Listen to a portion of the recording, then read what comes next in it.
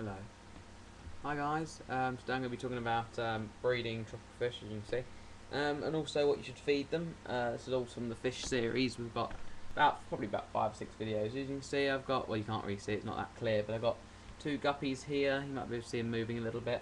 Uh, I've got um, two danios, one of my danios died today because he got taken into the filter and got cut in half which was disgusting um, and had to deal with that. And I've got silver shark, which is behind my filter, and two platies, which are, are in the woods, which I like call them the woods. The one's not in the woods. One's in the woods. One's in the woods and one's outside the woods. So um, breed, when they're breeding fish, you're going to want to have them in a, a, medium temperature range. So if you look at their sort of temperature range, um, you'll get a good idea of, of what sort of area I guess you should have them in. Um, I find uh, about 24, 25 as a, as a real good temperature for them. Uh, I used to do 26, but I didn't get the best of um, results there. So let's go on to feeding. Um, if you have larger fish, um, you can use pellets because they, they don't tend to pollute the water so much. Um, pellets are always a good for good food for um, not polluting the water. Um, flake food. Sorry about the pink cup. It's a bit gay, I know, but so yeah, I mean, flake food can be great. In a way that sort of flakes it's it gives a better food for all varieties of fish and they'll all tend to eat it. Um, but yeah, I mean it's really good to have tropical fish and stuff. Um, but yeah, if you've got bigger fish, I'd suggest use pellets because they won't pollute the water. Um, and also, you want to provide a varied mean food. I mean, always get. I mean, I've got a book here, but I mean, I've always oh, no, it's off my heart.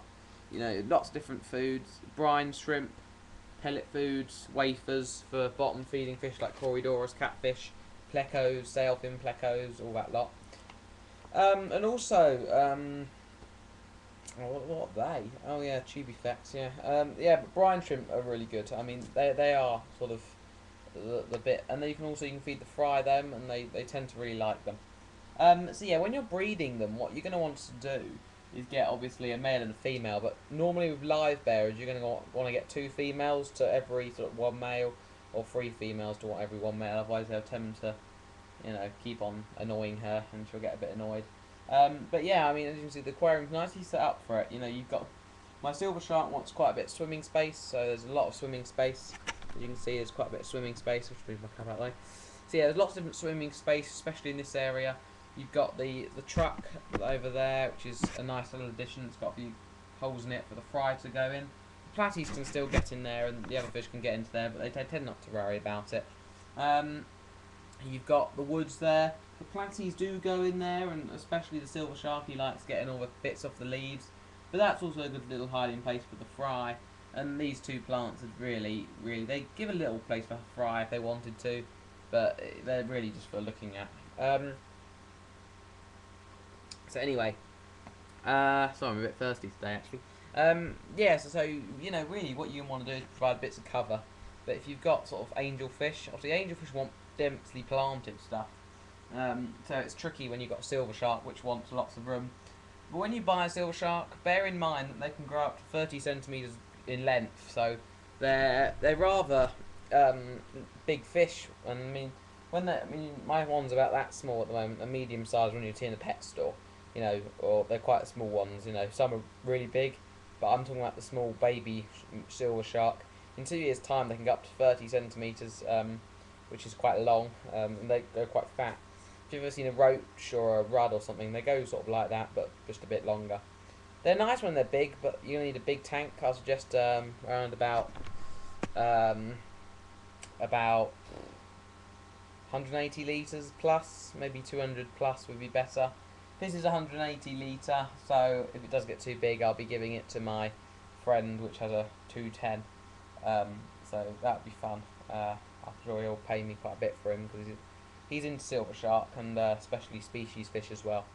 Um, also, you can also mix the silver shark with um, Oscar fish as well. Oscar fish, even though they're predatory fish, uh, when the silver shark are large enough, sort of maybe 10, 10 centimetres plus, you can add them with the Oscars, but I would research it first. I mean, I know, but I just don't want to be taking the blame, so just research that first. But I, I have seen quite a few silver shark with Oscars. So yeah, I mean, what you want to do is also is get a breeding net um, and pop it in the corner, and then just have a nice little net which you can use um, to, cla- to catch the fry. Um, also, a lot of people have asked me lately about about fry problems because if you have 80 of them and you've got like a real densely planted uh, aquarium and, and you know the fry have just they're in the you know fry have got a field day and uh, you know they've got a real big field day and they've just densely planted they're not going to get eaten anywhere. And that's not always the best thing um, because you know, you're going to have 80 to about 100 fry alive and they're going to get big as well and 80 fish is quite a lot of fish to care for and the ammonia you might have a spike and they might all die so you don't really want that so what you want to do is don't plant if anything plant it densely in one half and the other half just but I would rather sparsely um, do do the planting like mine mine's a perfect setup for, for fish um, obviously I, I run my own business called Tropics uh, it's in Croydon but um, it's a very small business. It's not quite off the ground yet, but it, it's it's getting there definitely. Um, but yeah, just you know, do your research about the fish, and if they sort of, I mean, swordtails they can have up to sort of fifty fry, and they don't tend to eat their um, fry often. They do, but they don't eat as you know as harsh amount as the guppies. I mean, the guppies will probably eat 75 percent of their fry maybe even 80%. So what you want to do is get get the ones, get the fry which you want in a net and pop them in the breeding net. And as cool as it does sound, leave the rest to be eaten because you know I think that's the best way you're going to get. And also, if you look at a book, normal fish books, they'll always say about um, the fry being um, being able to um, about if you look in a book, sorry, they'll, they'll be like live. Say they most fish will eat live foods and small live foods like even guppies will eat live food, and obviously they eat they're cannibals, so they will eat their babies, and they're that, they're so tiny. I mean, I hardly see them when they're actually born. But um, on guppies, if you're there's little there'll be a little black spot at the back as well. So yeah, that's that's what you want to look out for if you've got um, a breeding breeding lot. Um, platies, if you want to identify them, they're um, the male has this like a the, the bottom anal fin. It's like um, no, he's going to stay behind the filter. I'm not going to give you a demonstration of him. But they've got like this sort of. Oh, I'll try and uh, that sort of shapes. So just that with that, that little bit of there. Um, that sort of shapes. Um, fins. The females have got more like that, or more more flat like that really, sort of coming out like like that. I like that really. But yeah, but the so they're quite like they're quite sharp and pointed the males, the anal fins, but they're they're nice and broad, sort of like a upper curve or little, like hard, like like. Um, I can't find find a think of an example. Um, let's look at this. There'll be it'll be like that much, like sort of no, it'll be like that. Their fin will be like that, but like. Oh, this is annoying. It'd just be like that much of the box there with the F and upwards.